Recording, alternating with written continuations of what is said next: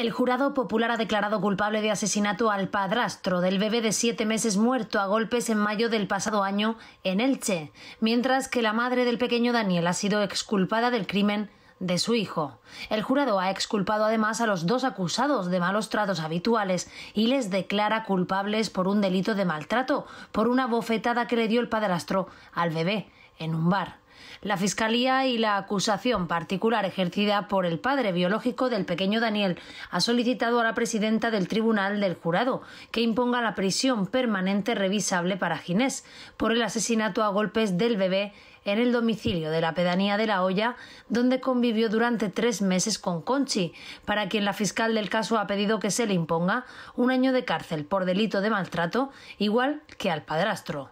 El tribunal no considera probado que el niño sufriera malos tratos habituales y solo le responsabiliza de un caso puntual por una bofetada del acusado, que se enfrenta a la prisión permanente revisable. Poco antes de entrar en la sala de vistas donde se leyó el veredicto, la madre del bebé fallecido expresó que independientemente de lo que ocurriera con ella, se empezaba a hacer justicia por su hijo.